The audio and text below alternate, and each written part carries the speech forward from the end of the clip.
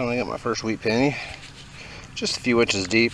I'm at a, a new spot here and at the park and I just figured I'd come up try up on this corner. Cemetery is across the street over. Well, it looks lots of iron and nails and stuff in the ground. So obviously there was a dump site or something here. So or a house site. You see something looks like there might have been a building over here. So I don't know.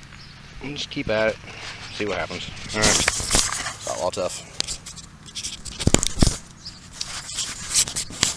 Just flipped back the plug and it looks like we finally got some silver here. And we're only talking about three inches deep right there.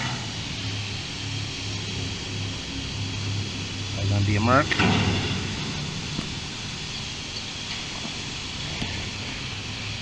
Yep, it's merc.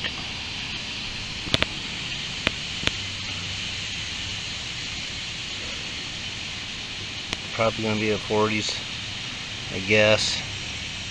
Yep.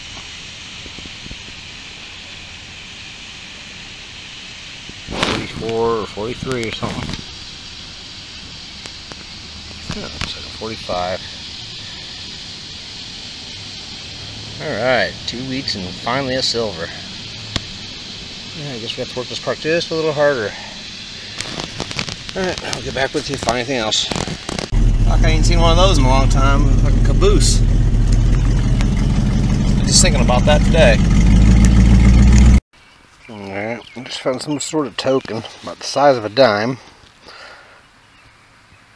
Hopefully uh, it'll clean up. Looks pretty rough.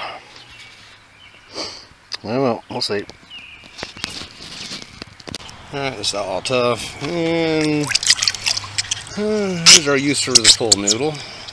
Run the main line through, second tether to the eye in here little uh, measurement there for the weight. And you can see she goes, she bottoms out.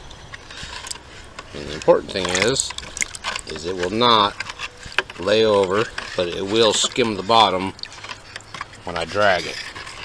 So it's gonna fucking help keep the rope from getting snagged. It's gonna get better contact across the, across the bottom. So we're gonna see how that works out here.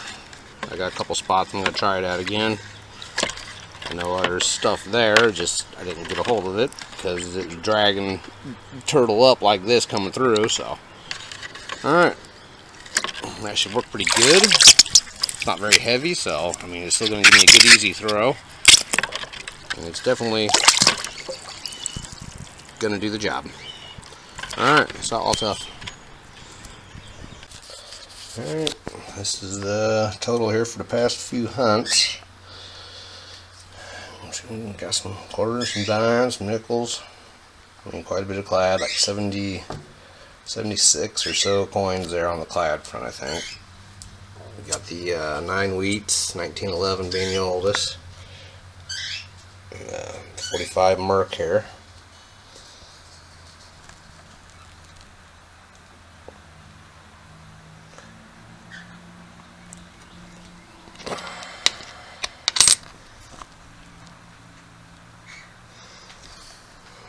Just regular 40s and 50 wheats there.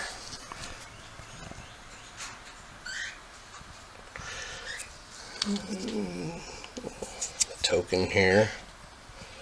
It's pretty much toast. But there's just enough on this side that I know where it came from. Can't really make out the name there, but that's Elmwood, Illinois there.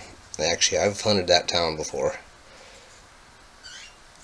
So, too bad I didn't know what it was, but oh well. Some odds and bits here.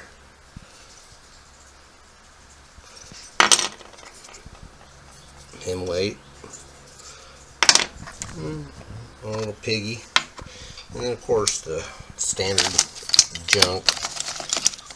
Copper, broken bottle tops that we all love finding. That's why it's good to wear your gloves beaver tabs, square nails, you name it, it's all in here. And zinc pennies, I just toss them in the fucking trash bin. So, yeah. That's it, that's it. Yep, hope you all enjoyed, and hopefully things are going to get better and we're going to get some decent relics here and some decent finds. So, alright, it's been all tough. Hope you enjoyed.